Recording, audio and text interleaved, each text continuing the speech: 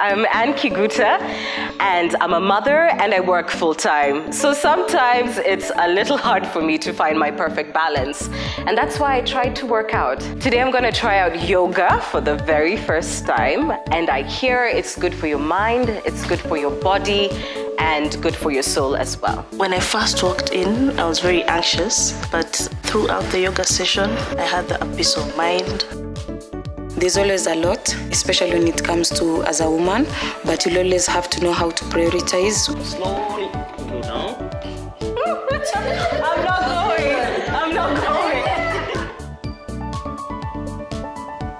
It's always important to keep uh, to put yourself first, to uh, pay attention to your well-being.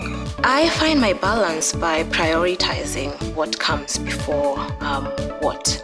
Um, also, being that I am a family person, I have a daughter, I'm married, I work full time, so I have to make sure that everything in my space works out well, and I have to give the energy and the oomph to push through my goals. Thank it's my you. time for me to go now.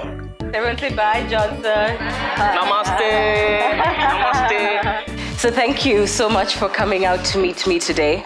And as you know, this is all about balance and finding balance in our lives. Balancing, I would say I am still learning.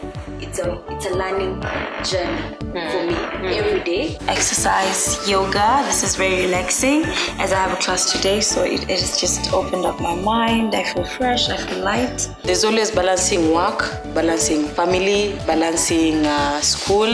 It's all about prioritizing. I wake up early, I pray, then I start my day. So, ladies, I was inspired by your stories and your motherhood journey, and I want to reward you with three months worth of gym membership, courtesy of Nivea, to get your perfect balance back. Thank you. Part of the balance is not just going for it at home and in the office, but really taking care of yourself and taking care of this body that is meant to move and help power you through the day. So I'd encourage you to get moving, small steps every day.